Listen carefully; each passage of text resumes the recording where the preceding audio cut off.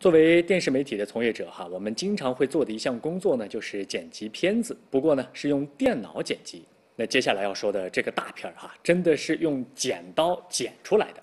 一部用剪纸做成的奥运大片《决战东京奥利给》，而创作者啊是位大二的学生。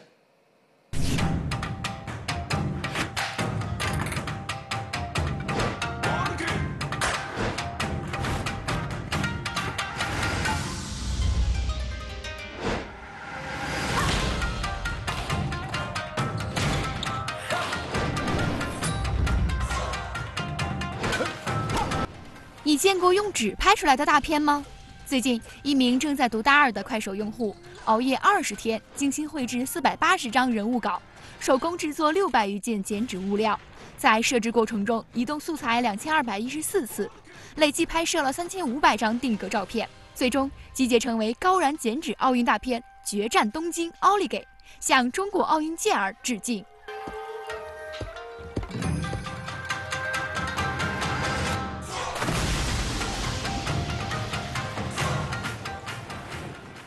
主创团队他们想让人物看起来既生动又有一种日出感，然后我们反反复复研究了很多遍，大家就一起连夜看动画片，还有一些运动员的纪录片，然后整个团队就熬夜修改，才把这个问题给解决了。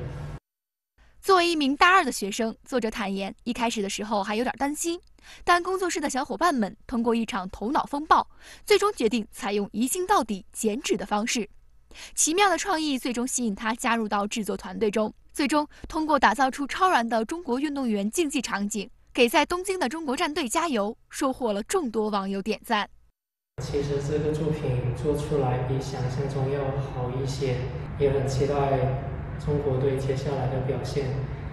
我相信他们背后的努力一定能够在